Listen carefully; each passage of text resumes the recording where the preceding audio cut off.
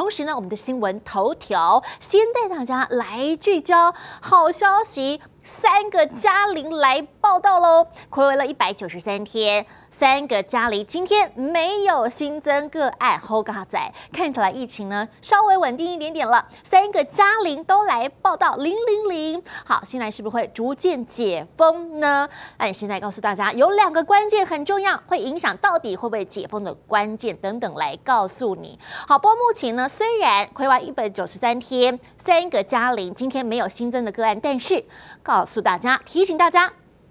二级警戒仍然到十一月一号，八大场所仍然关闭。当然呢，这个在运动的时候，口罩啊，还有在户外的时候，都有逐步的解封当中。但是来看到是呢，大家注意的是，十一月八号开始，高铁自由座啊，还有车厢走动呃等等的，这个会逐步的来放宽很多的限制，而尖峰也会增加车厢数了。先带您来关心。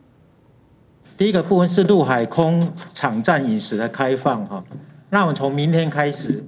有这个三项的一个开放哈，一个是客运转运站，客运转运站包括国道跟市区的公车客运，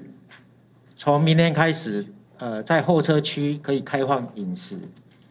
那另外是海空运的场站部分，呃明天开始国内的场站就开开放饮食。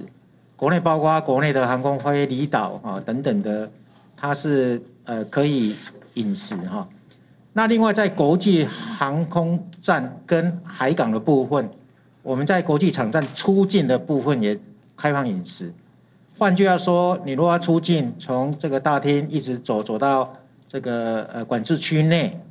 你可以饮食。然后相关的餐饮业也开放，也就是说你可以在。这些餐厅啊，那个可以在在内来这个呃使用。那那国际场站的入境的部分，因为入境是现在整个指挥中心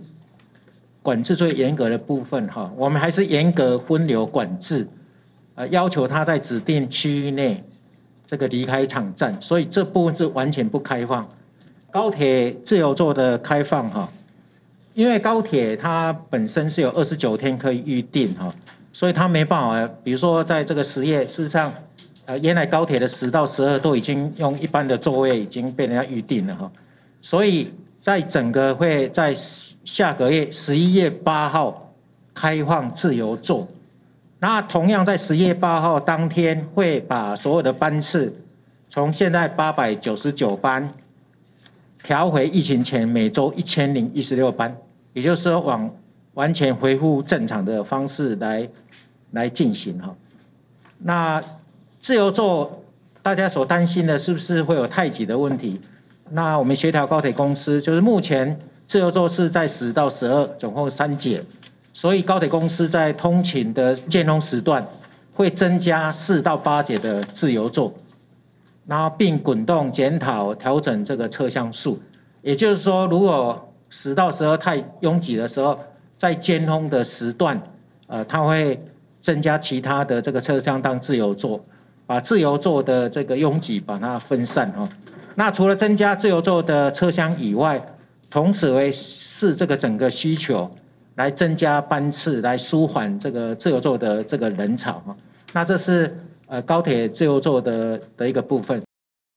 好，高铁自由座即将要恢复了。不过现在台湾疫情看起来越来越趋缓，不少人关心降一级有没有可能？到底什么时候能够解封？解封哦，大家都非常的期待。至于明年是否有没有可能呢？好，先来看看陈静仁，他在今天出席活动的时候，会前媒体问到明年疫情什么时候解封呢？他表示说，大家努力把预防接种达到预定的目标，而加上呢药物的使用，相信。明年年的疫情能够控制得很好，不过提到疫苗接种，就赶快来关心了。新冠疫苗的接种第十二轮准备施打三种疫苗，包含哪三种？B N T 辉瑞包含了 A Z，还有莫德纳，通通都有。指挥中心也采用预约。分流制。BNT 辉瑞在今天上午十点钟来开放了预约第一季，有没有人在今天早上去预约了？好，举个手，say 个 hello。其实截至下午一点钟，已经有八十六万人完成了预约，明天会陆续开放 A G 跟莫德纳，